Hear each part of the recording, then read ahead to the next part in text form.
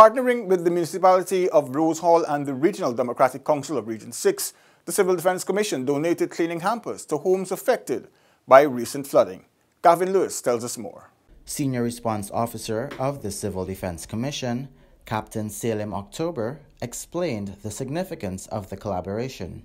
It's important that the Civil Defense Commission engages in these activities that sees partnerships across the, all 10 administrative regions, which forms part of our regional disaster risk management system. This is as a consequence of um, severe rainfalls that occur over the past week that inundated a number of um, farmlands, homesteads, as well as homes were flooded with with water. The cleaning supplies will help to sanitize households. What we're doing is providing an opportunity for residents to clean up in a safe way to ensure that health and safety measures are taken into account as they clean and to return their homes to a level of normalcy.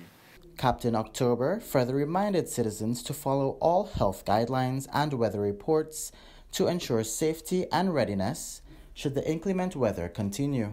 And the CDC takes this opportunity as well to urge all residents, notwithstanding our current COVID-19 pandemic and the measures that ensues, where we need to take safety quite seriously and we need to ensure that our sanitation practices are ramped up to avoid any spread of further COVID-19 disease. We also have to consider taking all precautions whenever floods occur to ensure that diseases which are mainly waterborne, does not have an opportunity to thrive in those conditions.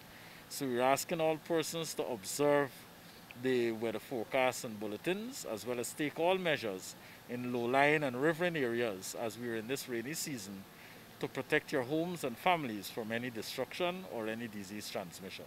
For InfoHub, Gavin Lewis.